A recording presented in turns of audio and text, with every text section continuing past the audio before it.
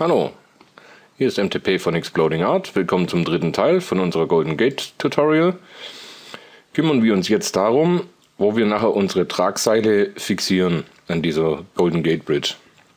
Dazu wählen wir uns den Fuß nochmal aus, drücken die Taste Z, um in den Wireframe-Modus zu schalten, die Tab-Taste, um in den Edit-Modus zu schalten, Numpad 3, um die Seitenansicht zu wählen, drücken A, um alles abzuwählen. Dann schalten wir unten auf Vertex Select Mode, B für Box Select, wählen uns die Vertices hier oben aus,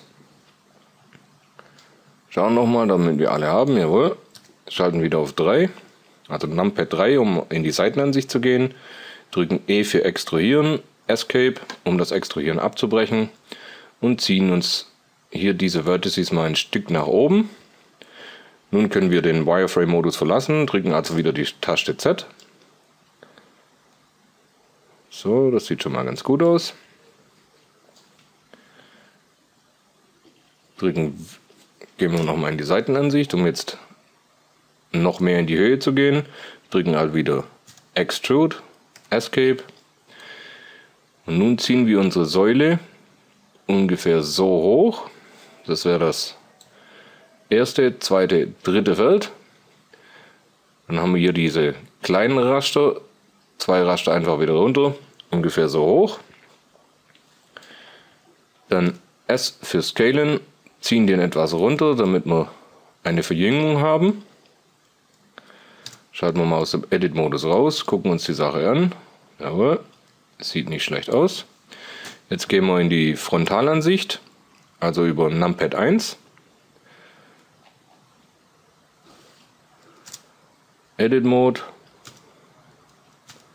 alles markieren. Nun schieben wir unseren Fuß so lang nach links. Das war ein kleines Stückchen zu weit, so ungefähr, bis wir mit diesen zwei Kanten hier die Mitte dieser Fahrbahnmarkierung treffen. Wenn wir das haben, drücken wir wieder A, alles abwählen Gehen in die Seitenansicht, diesmal Steuerung 3, damit wir von der richtigen Seite aus gucken. Jawohl, da sind wir. Schalten nun die Durchsichtigkeit aus. Wählen wieder Box Select aus.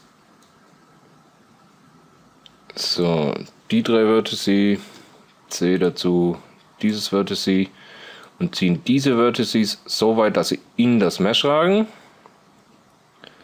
So, damit wir da keine störende Kanten kriegen. Wählen alles ab, machen Loop Cut and Slide hier oben. 2, 3, 4 Mal. Sagen mit Enter bestätigen. Scalen das Ganze Z, also SZ. Ziehen das etwas zusammen. Schieben unsere Cuts nach oben. Ungefähr so. Wenn wir das haben, wechseln wir wieder in die Seitenansicht, schauen uns das nochmal an. Okay, A abwählen. Dann wählen wir uns mit Alt, schalten wir unten um auf die Kanten, drücken die Alt-Taste, wählen uns diese Kante aus, scalen diese etwas nach innen, wieder Alt, diese Kante scalen, ziehen die auch noch etwas nach innen, dem Ganzen noch ein, eine neue Form zu geben. So, dann gehen wir aus dem Edit-Modus raus und haben damit die Grundbedingungen geschaffen, um nachher hier oben unsere Tragseile zu fixieren. Wählen wir mal unseren Fuß ab, wählen jetzt die Fahrbahn, gehen in die Frontal äh, in die von oben Ansicht, also Numpad 7 Edit-Modus, Loop Cut and Slide. So, zwei Linien machen, linke Maustaste bestätigen, Scalen Y, ziehen diese zwei Linien jetzt so weit zusammen, bis sie nahezu hier anliegen, an den zwei Kanten unseres Fußes. Wenn wir das haben, Ups, falsche Taste. Gehen wir jetzt in den Face Mode. Wählen uns dieses Face aus. Extrude Escape. Ansicht von vorn. Extruden das jetzt ungefähr mal so hoch wie das andere ist. Wie unser Fuß ist. So. Abwählen. Tab drücken abwählen. So, wählen wieder unseren Fuß. Tab für Edit-Modus.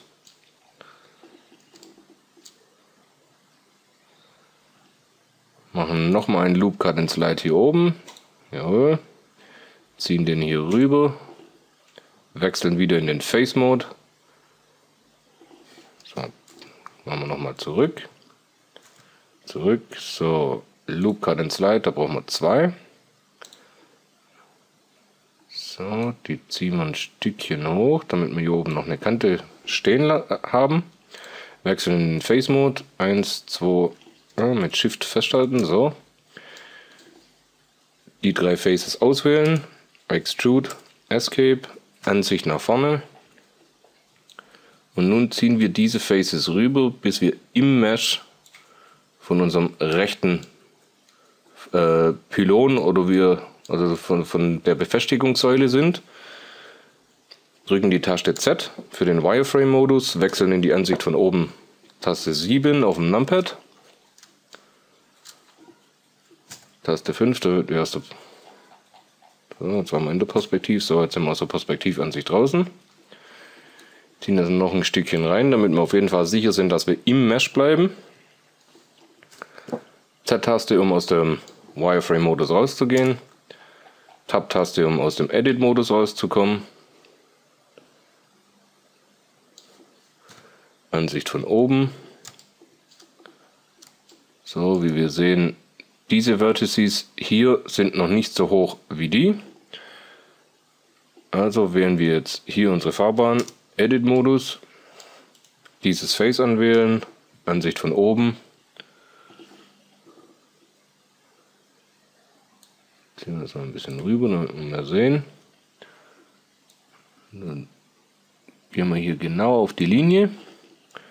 Sagen A, Tab, wählen uns hier aus. Mit C und dem Mausrad verkleinern wir hier unsere Auswahl. Bestätigung. Ziehen uns das Ganze rüber. Scalen wir die ebenfalls genau auf die Kante. So. Das abwählen. So, wählen den Fuß ab. Damit hätten wir fast schon unsere Grundbedingungen erfüllt.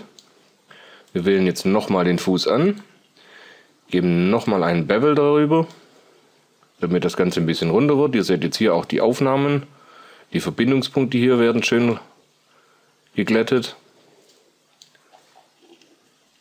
Wählen das ab, gehen nochmal auf die Farbe. So, applyen den Modifier Beveln. An der Fahrbahn haben wir ja noch den Modifier gewählt.